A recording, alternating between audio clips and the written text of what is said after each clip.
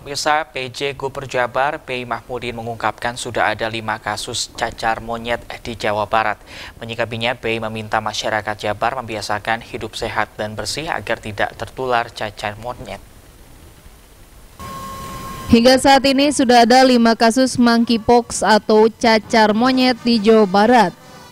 Diungkapkan PJ Gubernur Jawa Barat Bayi Mahmudin, kelima kasus tersebut di antaranya terjadi pada warga Bandung, Kabupaten Cirebon, Kota Cirebon, Depok, dan Bekasi. Satu pasien asal kota Bandung sudah sembuh setelah dirawat di RSHS. Meski sudah ada lima kasus, belum ditetapkan status siaga cacar monyet di Jawa Barat.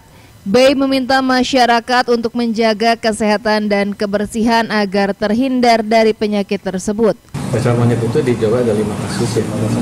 E, satu yang daerah saya sudah keluar, dua kabupaten e, Cirebon, kota Cirebon, Depok, besar lagi, Sukabumi, Bekasi, Bekasi, Bekasi, Depok, Bekasi. Jadi empat masih ada, satu sudah sehat. Yang dari Bandung ya? Yang Jawa Barat ya, Hmm. itu yang ya.